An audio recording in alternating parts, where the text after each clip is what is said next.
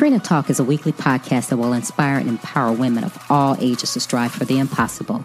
I am your host, Trina L. Martin, motivational speaker, leader, and cyber tech expert. Every week, I will share wisdom gained from life experiences and my lessons learned while pursuing my goals to inspire you to achieve the next level in your life. Hey, welcome to Trina Talk. This is episode number two, and I am your host, Trina L. Martin from trinamartin.com. I am podcasting on the road from Dallas, Texas. I am here attending the Woman Thou Art Loose Masterclass. I'm telling you, this has been an amazing week. I have been motivated and inspired to just do some things in my life that I'm just I'm just ready to get back home and to start doing what I need to do to get to the next level.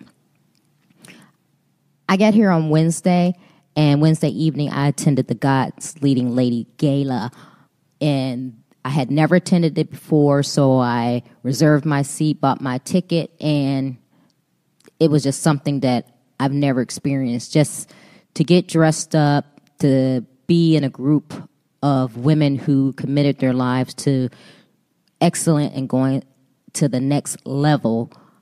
These women, they enrolled in this class to empower themselves. And it's several weeks of a stringent pro- uh, process of mentoring and learning.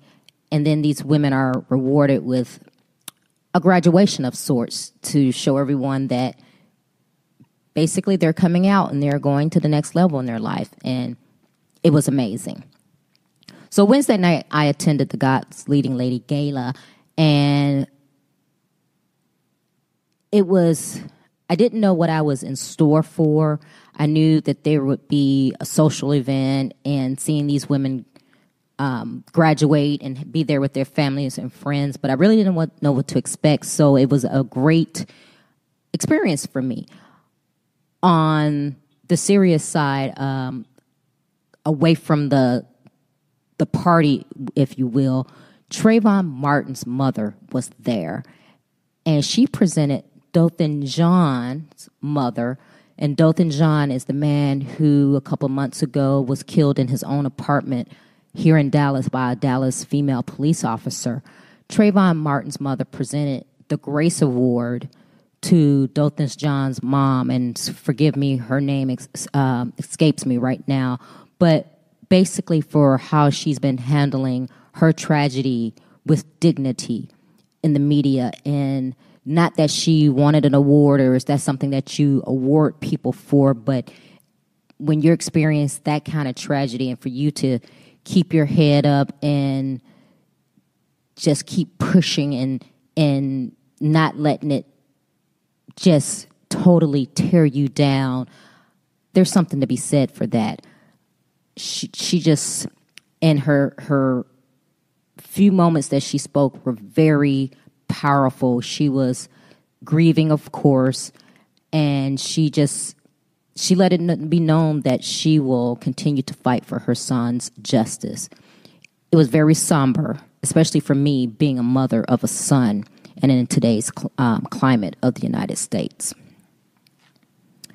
So, this was my second year attending the Woman Thou Art Loose conference. Last year, I attended MegaFest, which had Woman Thou Art Loose intertwined in it along with Manpower. This year, they did something different, which was to have the Woman Thou Art Loose Masterclass, which was nothing but for women, and they had women, powerful speakers. I mean, Nely Galán was there who spoke, and she just set me on fire. She's the Latina woman who helped get Telemundo started. She has produced over 700 shows. There was Tiffany, the Budgetnista, who was talking about finances. Cynthia Miller, who is the CEO now of the Dallas Mavericks, she was here just an amazing lineup of women, women that you would have ended up paying a lot of money to go see. They were here just imparting their wisdom to us as women on how to be successful in our lives and go to the next level, whether it's our entrepreneurship, our faith, our personal life, just amazing things, things that inspire me to inspire you. And this conference, I, and I, like I said, I started going to this conference last year was my first time. This conference is how I recharge myself. It's something that I do for me. It's only for me. It recharges my, it recharges me, and it renews my faith. And you have to have something that is for you and you only, something that recharges you and, and gets you into the place that you need to be in your right frame of mind, whatever that may be. It maybe it's not going to a conference for you. Maybe it's taking yourself out to dinner or sitting at home while everyone is gone and just sitting back and reflecting or reading a book. Whatever that is for you, I highly suggest you do it. But if you ever get a chance, women, and they were there were some men here with their wives and some men who just attended, and that was totally acceptable. No one was turned away. Of course, if you pay um, the f- registration fee, they're not going to turn you away. But there were several men here. But women, if you ever get a chance to attend the Woman Thou Art Loose conference, you will be inspired, empowered, and uplifted. So check into that. If, you know, sometime in your life, try to go. What I love about the Woman Thou Art Loose conference is that women come from all over the world. I mean, it's not just a U.S. thing. It's not just a Texas thing. They come from all over the world, and I met a lot of amazing women of all colors, from all walks walks of life, and who lived everywhere. And it's a great networking event. But what I took most from the event is just people sharing their stories with each other. I had a couple of amazing women that we confided in each other and shared our stories, and it's just amazing the things that people have been through and the things that they're inspired and motivated to do. It's just it's awesome. I'm I I get so stoked every time it's you know I register and it, it the time approaches for me to attend. It's just one of those things that I really enjoy doing. So while at the social uh, before the God's Leading Lady Gala, I ended up speaking to a husband of one of the women graduates. He said that the program has made his wife face her fears and step out to do the things that she had never done before. He said she zipped line and he was just floored. He could not believe that she actually went and did something that he had been trying to get her to do for years. So that's that's the kind of program this is the the God's leading lady and the women that are out loose. It's it's empowering. But I said that to say this. That brings me to this week's topic. And this week's topic is Is fear stopping you from pursuing your passion? What are your fears? Think about that. We all have them. Sometimes we don't like to admit it, but we all have fears. Is your fear shame, guilt, failure? Are you afraid to love? That one kind of hits home for me. Are you afraid to change? Being vulnerable? Are you afraid of leaving a job or a relationship? Are you afraid of starting a new job or starting that business? Are you afraid of getting out and moving to another city, state, maybe even moving to another country? Are you afraid of traveling alone? eating alone. I know there's a lot of women out there who won't go to the movies by themselves, won't go to dinner by themselves. Are you afraid of what other people think about you? That used to be a fear of mine. Now, I don't really care. I'm almost 50 years old. I'm 47. So, really, what people think about me doesn't matter to me because I know that they're not paying my mortgage or any of my bills. They don't take care of my children, and they're not my God. So I really don't care what other people think. But you get it. there are fears, and we all have them. And I want you to think about what is your fear that is stopping you from pursuing your passion? What is it that you are so afraid of that you won't step out? So, while I was preparing for this episode, I decided to look up the definition of exactly what fear is. And this is what I got from Webster Fear is an anxious concern, to be afraid. Simple enough. We all know what fear is. Now, as I was thinking about this and, and reflecting over my life, and fear is a God given emotion. So fear is not something that people like, oh, you know what, you're crazy. Fear doesn't exist. Yeah, fear does exist. And it is a God given emotion because some things you do need to be afraid of. And that's why we all have the fight or flight response. But fear should not consume you. Fear should not keep you from living your life. And that's what we're going to talk about today. So, fear can be a bad thing or can be a good thing. The bad thing is fear stagnating you. If fear presents, prevents you from achieving your dreams and going to the next level, that's a bad thing. Now, on the flip side of that, fear can be a good thing. Fear can stretch you, it can fuel you, it can make you persevere. And honestly, for me, most of my life, my fear has made me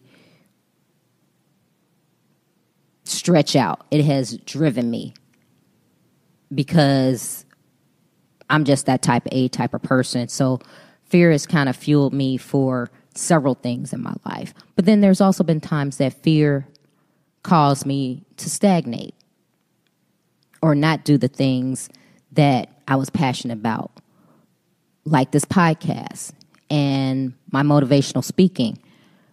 This is something that I had on my heart for probably about 15 years now, and I'm just now doing it because I had to get past my fear. So, what I want to say to you is don't let fear stop you from pursuing your passions and your dreams. Let it fuel you, let it make you persevere. And if you're striving, if striving for your dreams doesn't cause you to have fear on some level, then your dream is too small. Okay, so think about that. So, pursuing your passion and thinking about your dream, yes, we all get scared, we all have fear, but if you're not afraid, then it's too small. It means that it's something that you can do easily if you're not afraid. So, fear is a good thing. Fear causes us to stay in our comfort zone. And again, that goes back to pursuing your dreams. Okay? So if if you're in your comfort zone and you're too afraid to step out, that's not a good thing because you have to take risk. We have to take risk. And I'm not talking about uninformed risk and just being crazy and doing things that you haven't researched, but being strategic is what I would call it being strategic about your risk. And here's something that you can do ask yourself what is on the other side of fear? What's, what is on the other side of fear? And you know what the answer is? Nothing. There is nothing on the other side of fear.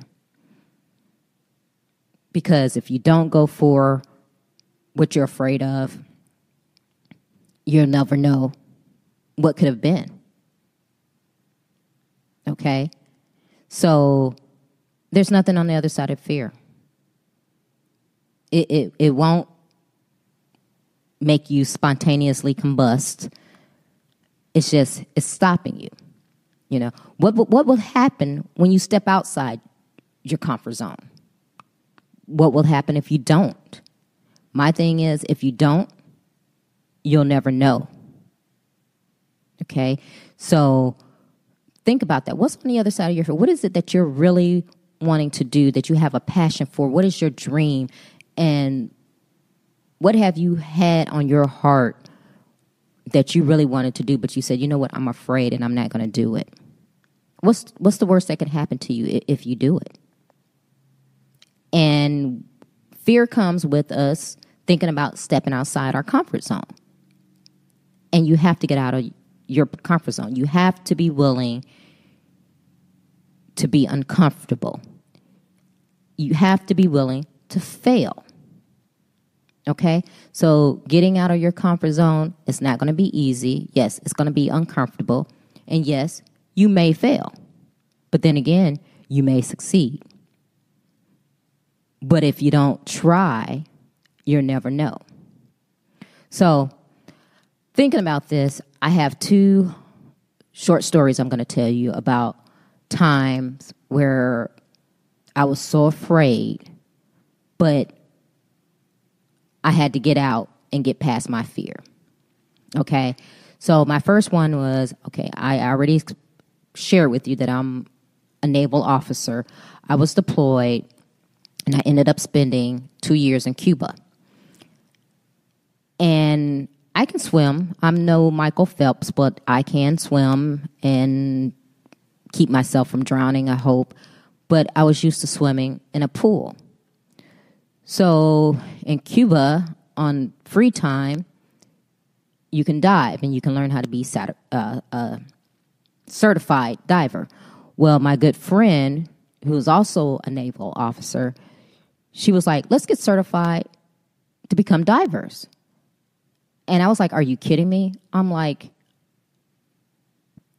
I can barely, you know, get in this pool getting out in open water was something that just scared me because, you know, in a pool, there's boundaries, right? There's limits. You can only go so deep, you can only go so wide. You know, you get tired, you can hit over to the edge or, you know, hurry up and swim to the other end and you can get out. Well, when you're on, in the ocean in open water, it's endless. So that was a big fear of mine. So, to make a long story short, my friend persuaded me to become a certified diver. And I was very scared. And as we were going through the training, and we trained in the pool, and we had to put on all our gear and do all these different things, at one point, when we had to do a certain thing, I was like, nope, I'm not doing this. Uh uh-uh. uh And I really commend the instructor because she was like, yes, you can do this. You're going to do it. Don't panic, do it. Anyway, I ended up getting certified but then again, I went to the next level with my friend, and then I ended up getting advanced certified. So I am an advanced PADI certified diver, which for those of you who dive know what that means, which means I can dive to limits like 100 feet, 150 feet below sea level, below water, below sea level, whatever that is. But I'm an advanced certified diver. And that's something that, one, I was afraid to do and probably never would have done until my friend persuaded me to do it. And I said, you know what? This is going to be a way for me to kick my fear of swimming out in the open water. So I did that. My next fear came with relocating to a new city seven years ago. I live here in Houston, and my job relocated me to Houston. And at the time, it was a new job that I decided to take. Well, I was excited to get the new job and move to Houston, but then when I started thinking about, okay, I'm leaving a place where I had lived for 10, 12 years. I had a home there. I had a good job that I had been there for a long time. And when I started thinking about all these things and I was thinking about, oh, my children are small, I'm going to get ready to move them across country and other things were going on in my life at the time, I got scared. And I actually, I had like a breakdown, a meltdown, a panic attack one day just thinking about everything. And I was thinking about not accepting the new job and staying in my comfort zone. Well, I did accept the new job. I ended up moving to Houston, and here I am. I faced my fears. Things are not bad. The world didn't crumble. So, what's on the other side of fear for you? What will happen if you face your fears? What will happen if you don't?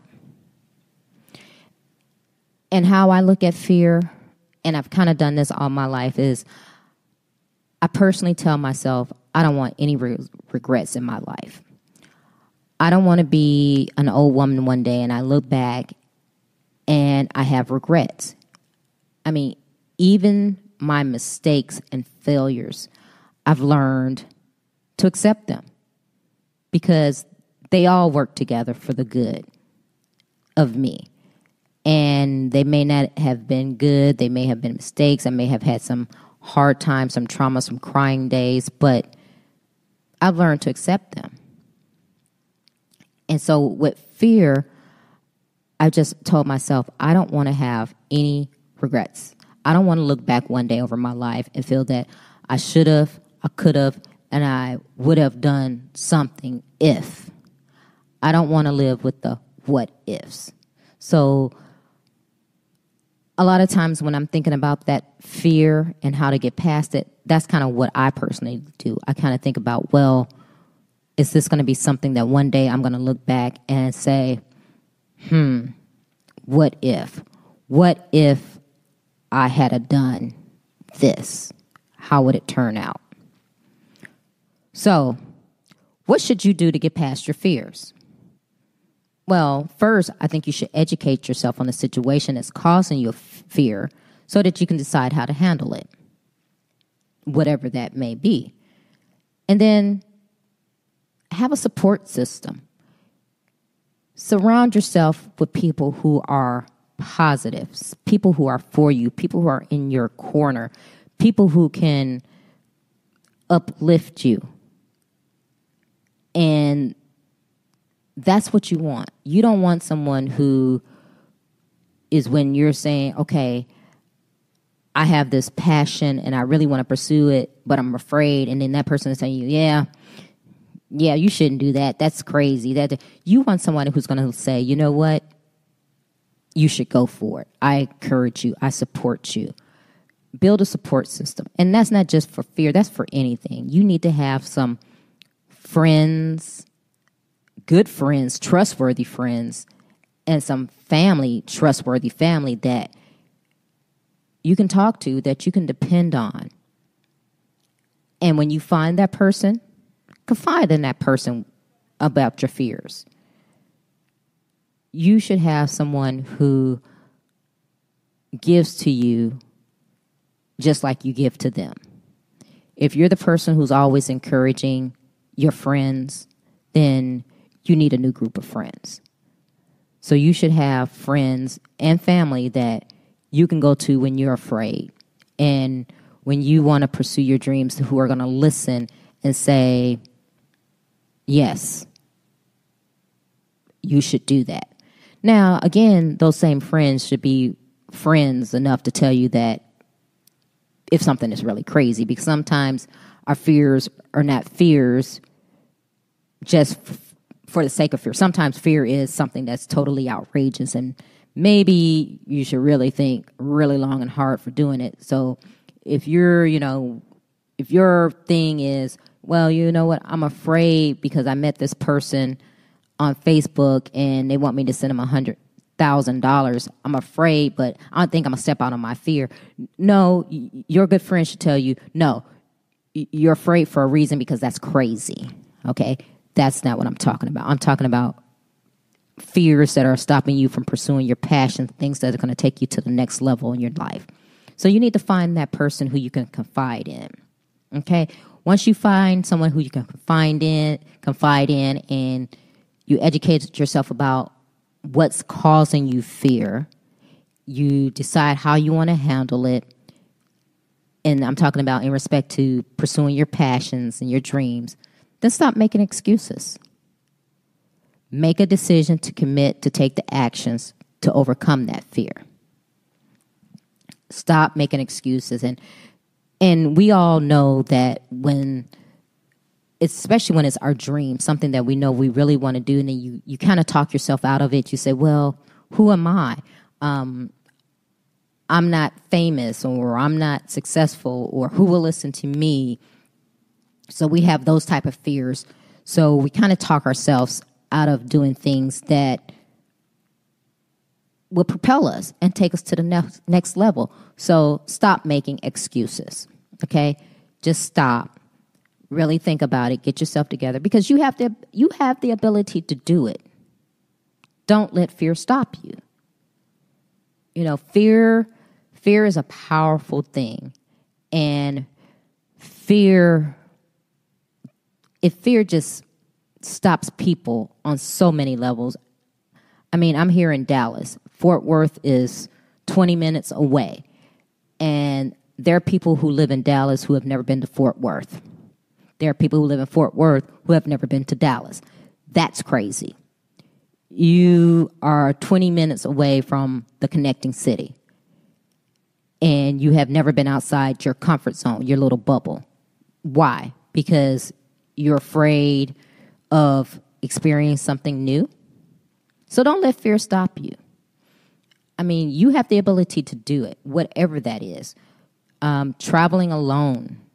I love traveling alone. I have been around the world by myself. And people ask me, they're like, "Wow, how do you how do you get out and do these things?"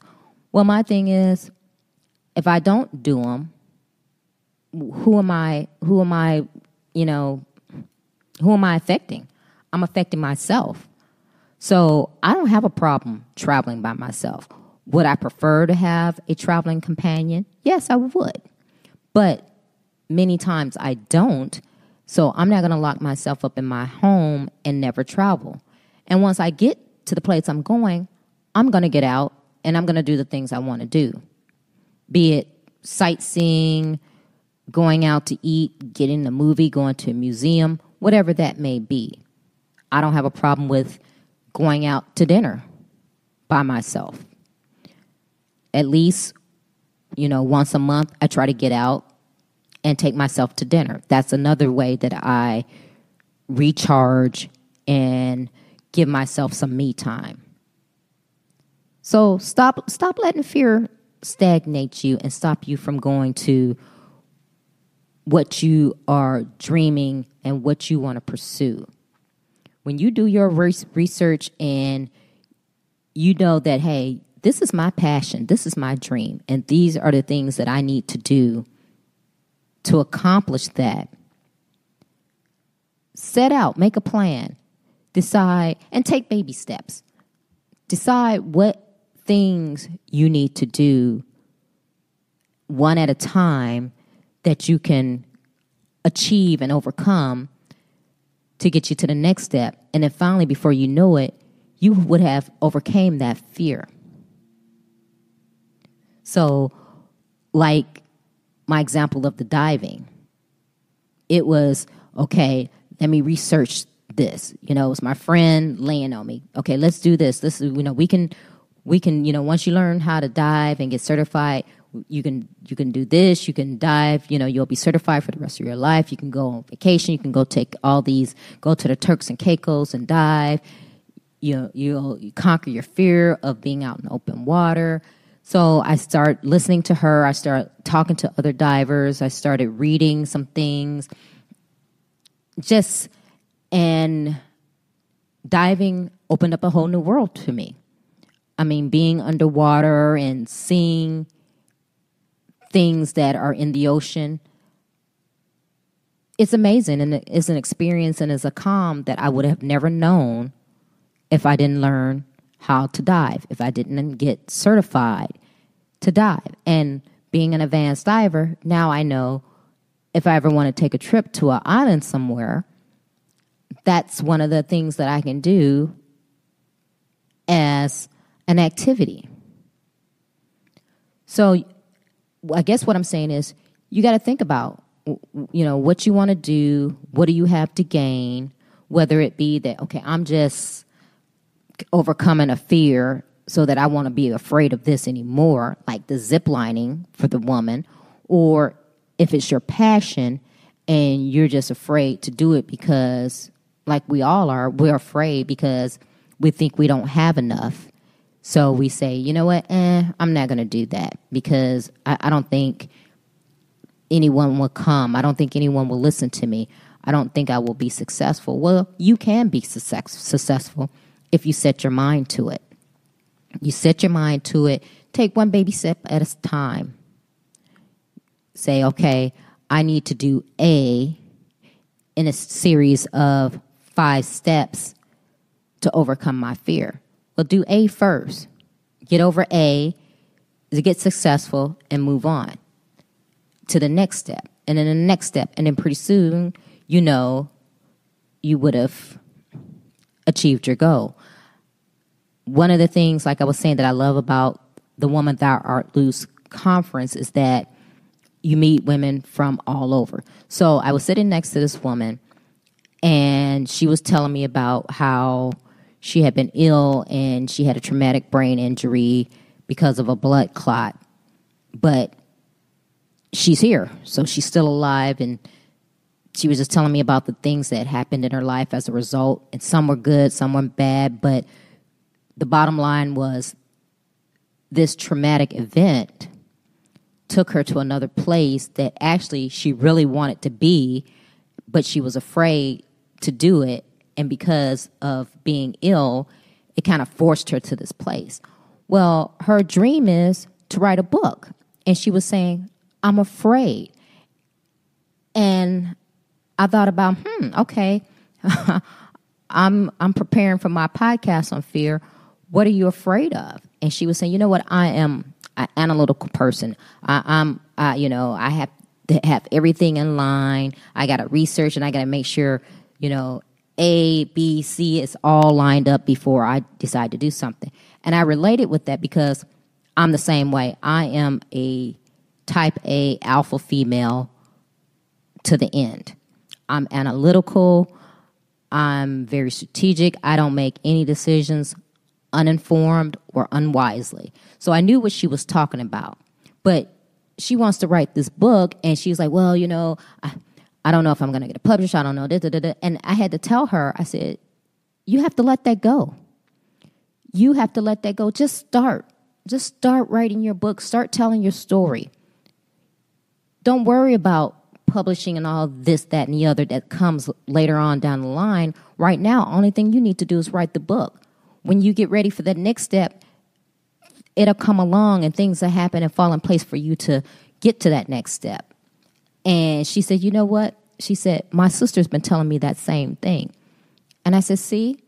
And I laughed because I told her, I said, You know, I'm telling you this, but I have to tell myself that as well because I was feeling the same way about my speaking and doing this podcast until finally I said, You know what?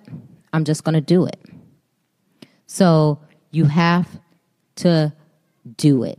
Just take the first step. Fear can either motivate you or demotivate you, and you decide. You decide what you're going to allow fear to do in your life. Will you let fear define your life? I hope not. But take the first step. So, if I can give you anything, this is Trina's takeaway for the week. Don't let fear fool you into complacency. Let it stretch you. Think about that.